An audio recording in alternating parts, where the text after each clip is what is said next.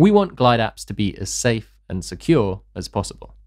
To achieve this, we automatically secure many aspects of your app, but you, as the app creator, will always make the most important decisions about your app's security. We're going to cover two of the most important security features in Glide, but to find the latest up-to-date information on making your app secure, you can head over to glideapps.com/security.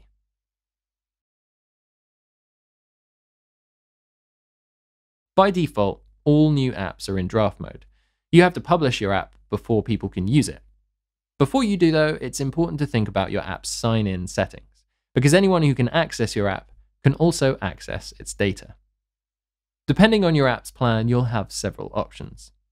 A public app means that anyone who has the link to your app can access its data.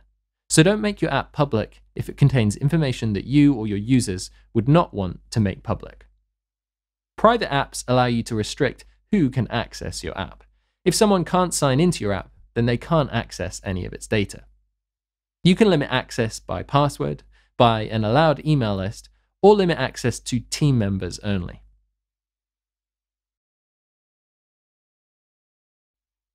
Anyone who can sign into your app can see the data it downloads, either in your app's interface or by inspecting network traffic. This means that if you hide certain items through conditions, the hidden data is still technically accessible.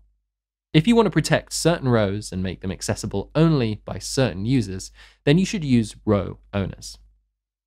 Row owners lets you restrict who can download data based on the email address that they sign in with.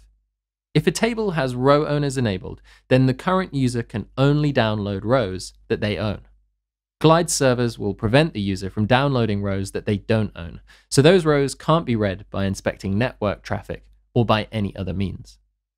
If your app is on a private plan, you can also assign roles to your users. This allows you to, for example, give many people the role of admin or manager, and then make that role a row owner for certain rows. This is a much easier way of managing security and different access levels for users across your team. You can learn more about assigning roles and row owners at glideapps.com/security.